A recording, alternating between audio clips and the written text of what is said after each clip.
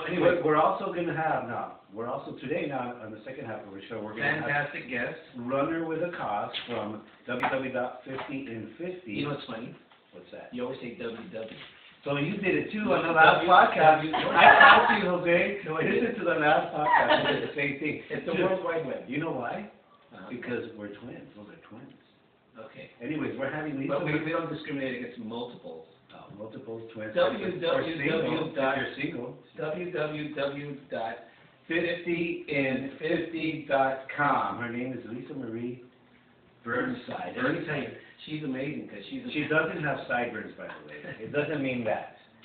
You know, she's um she's an athlete,